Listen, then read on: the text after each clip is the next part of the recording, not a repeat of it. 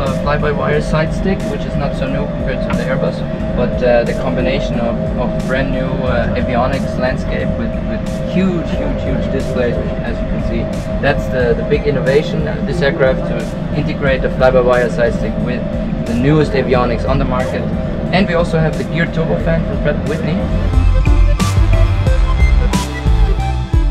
And uh, as you can see on the screen here, this is the, the classic uh, PFD, uh, but uh, in the MFD uh, to the left you can see uh, the Frankfurt, which is put it up as an example, the Frankfurt taxi map of the airport in Frankfurt, and then uh, we have all sorts of functions. We have uh, electronic checklist, the entire plane. You can change what, what you Yes. need. Whatever you need, you can Whatever put it up on all the screens. They're all interchangeable, and uh, yeah, we have a full electronic checklist uh, philosophy on this aircraft. So there's not a single page of uh, paper Okay. on the on the flight deck. So it's all integrated.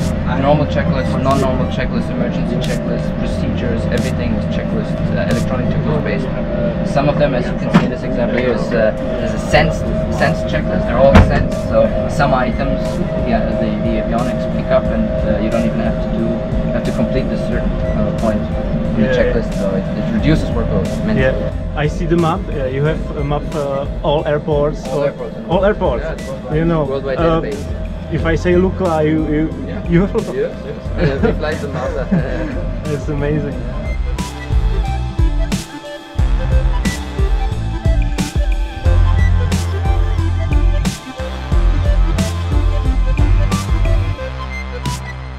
Thank